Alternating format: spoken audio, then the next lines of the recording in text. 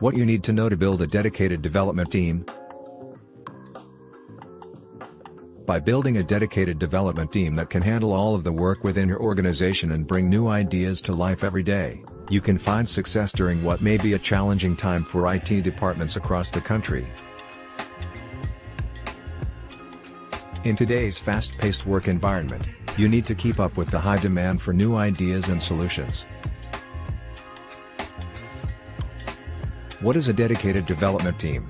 Dedicated development teams are groups of developers who work exclusively on a particular project. They are not interrupted by other projects or tasks, and they don't have to do any other work besides their primary task. The idea behind a dedicated development team is that it ensures developers can focus on their work and not get distracted by other tasks or projects. The dedicated development team consists of these personnel. Developers. Project managers. Business analysts. QA engineers. UI UX designers. Developers. The developers are the people who actually write code and build your product. Project managers. Project managers keep track of what's happening on different projects, as well as communicate with clients to make sure everyone knows what's going on and where things stand at any given time. Business analysts. Business analysts are responsible for making sure that all business requirements are understood by everyone involved before coding begins, they act as project managers' partners in ensuring that everyone knows exactly what they're supposed to do before getting started on anything new. QA engineers.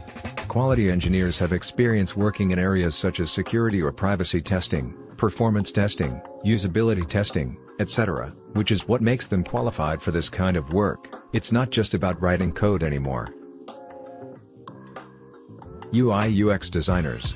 UI UX designers who is responsible for designing user interface elements and interactions, as well as providing guidance on aesthetic design requirements. How to build a dedicated development team. To build a dedicated development team, you need to have a clear vision of what you want the team to achieve.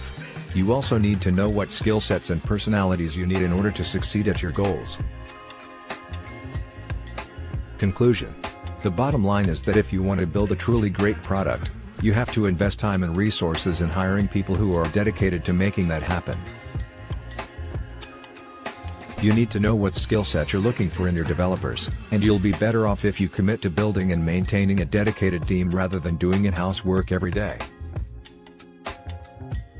Just be sure to keep your team updated about what skill sets you're looking for so that they can help identify potential hires or recommend new candidates when needed.